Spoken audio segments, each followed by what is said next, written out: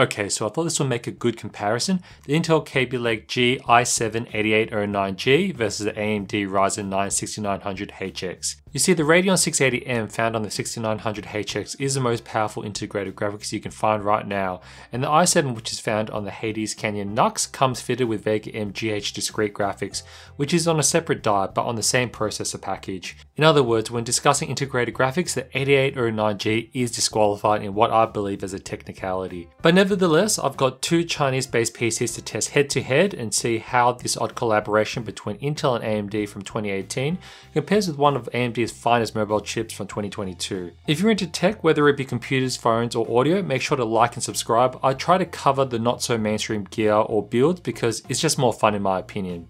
Okay, continuing on with the video. The first PC I have is a Hystou F9. It has the Intel i7-8809G, which is on the 14nm process, released in 2018. It has 4 cores and 8 threads, 8MB of cache, base frequency of 3.1 GHz, max turbo of 4.2 GHz, and max package TDP of 100 watts. On the graphics side, the CPU is paired with the Radeon RX Vega M GH graphics, which features 4GB of HBM2 memory. Second PC is a Minisforum UM690, which has the AMD Ryzen 9 6900HX, which has 8 cores and 16 threads on TSMC's FinFET architecture. It has a base clock of 3.3 GHz, boosts up to 4.9 GHz, and has 16 megabytes of L3 cache. It has RDNA 2 based AMD Radeon 680M integrated graphics, which has 12 CUs and clocked at 2400 MHz. I'll be testing some synthetic benchmarks as well as a suite of games. Other important details on each build, I've got two 8GB sticks of Crucial DDR4 SODIMM running at the maximum supported 2933 MHz in the Hystou, and over on the UM690 I've got two datasets, one with two 8GB sticks of Crucial DDR5 SODIMM overclocked to 5400 MHz, and also two 16GB sticks of Crucial DDR5 SODIMM overclocked to the maximum 5800 MHz, and the VRAM set to 8GB. Yes, I'm aware there are different capacities, but my tests do not max out RAM, so it will not have a performance impact. Both PCs were tested with game installs on the same SSD, a 2TB Crucial BX200 SATA SSD. I've undervolted the Hystou F9 as the BIOS has far more options available, negative 140 mV on the core voltage, turned off Turbo Boost Short Power Max, and set Turbo Boost Power Max to 35 watts.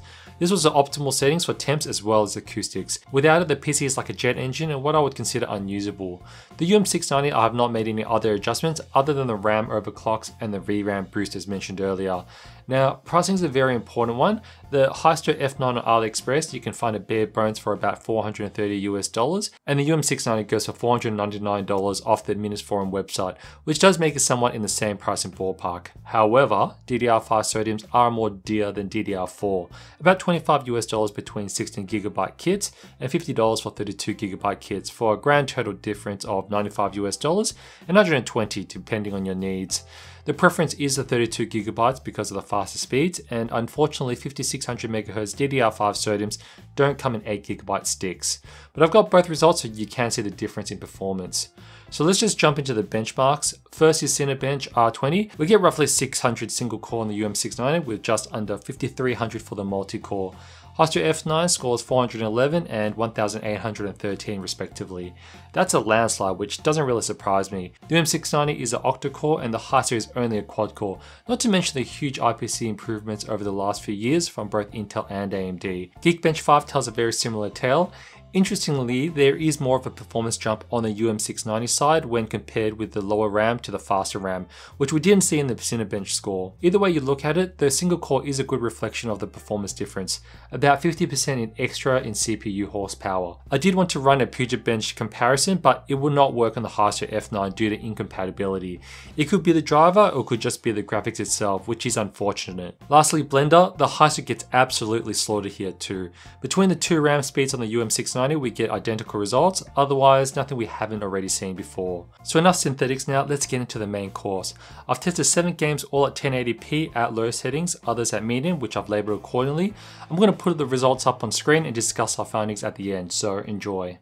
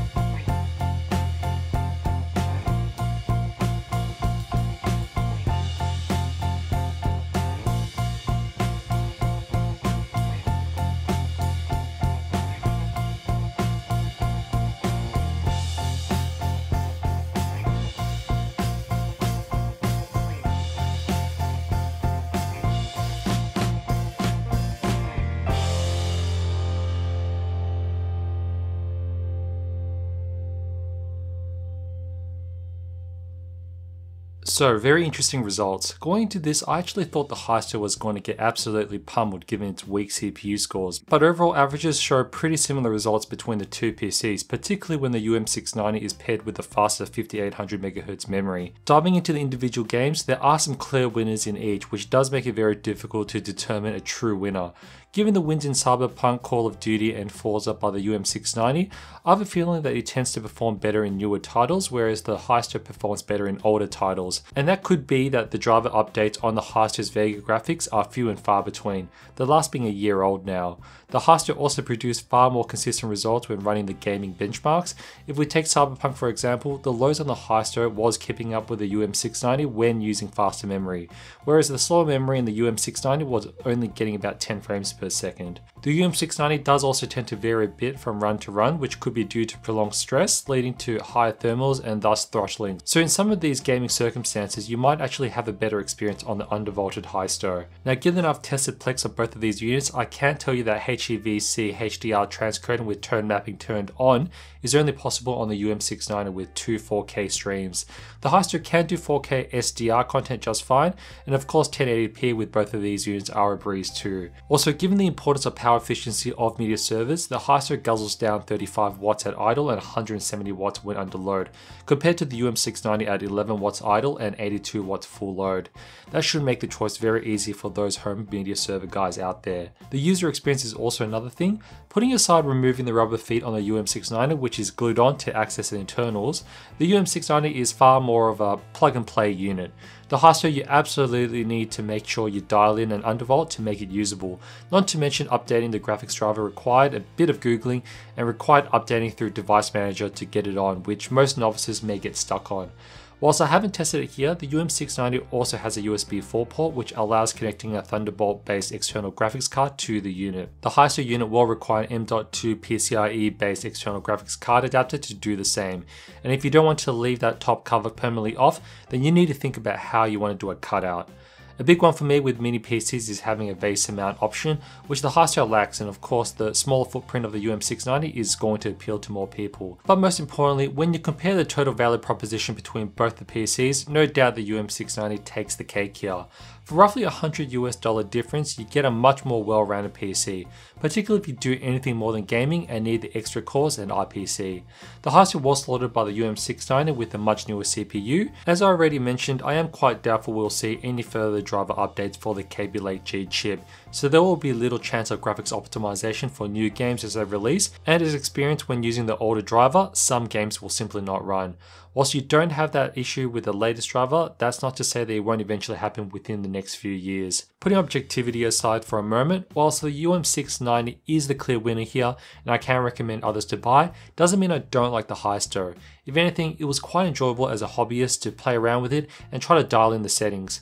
I know it's not easy to find the person willing to spend 500 US dollars on a unit with questionable longevity, but if you've got a spare M.2 drive, DDR4 SODIMM lying around and can look past its deficiencies, the Hystou can be a bit of fun, but I'd at least wait for it to go down in price. I think at its current price of $430, it's a bit rich, but if you can find it for sub $400 for the bare bones, that would be far easier to swallow. Anyway, I didn't think I would finish this video with the word swallow, but if you have any other questions about these units, drop a comment below.